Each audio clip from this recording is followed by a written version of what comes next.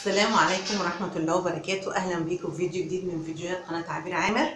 آه ما تنسوش الاشتراك في القناة وتفعيل الجرس عشان كل جديد بعمله يوصل لحضراتكم كل خبر جديد يوصل لحضراتكم. ما تنسوش تحطوا اللايك فضلا وليس أمرا. آه ويلا بينا دلوقتي نشوف الخبر الجديد اللي معانا يا ترى إيه؟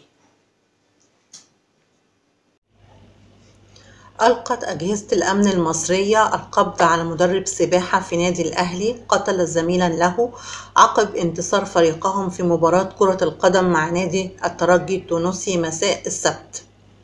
وأمرت جهات التحقيق بحبس مدرب سباحة بالنادي الأهلي لمدة أربع أيام على ذمة التحقيقات التي تجرى معه لاتهامه بالتسبب في وفاة زميله المدرب.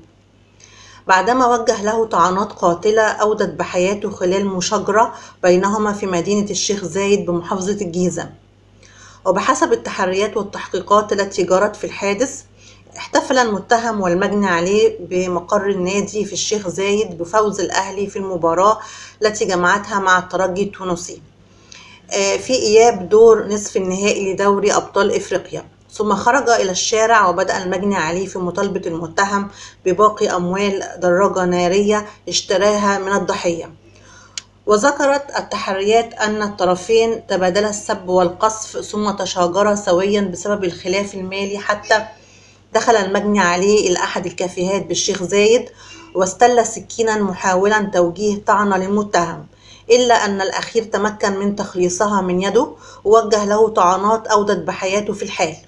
واتصل أحد المرة بالنجدة حيث انتقلت إلى هناك رفقة قوة من المباحث وتمكنت من القبض على متهم وتحرير محضر بالواقعة وتلقت النيابة العامة محضر الشرطة وانتقلت إلى مكان الحادث وناظرت جثة المجني عليها المجني عليه وأمرت بتشريحها بمعرفة قطاع الطب الشرعي لبيان سبب وكيفية الوفاة كما طلبت تحريات المباحث النهائية حول الواقعة وتحفظت على كاميرات المراقبة في المكان الذي شهد الحادث.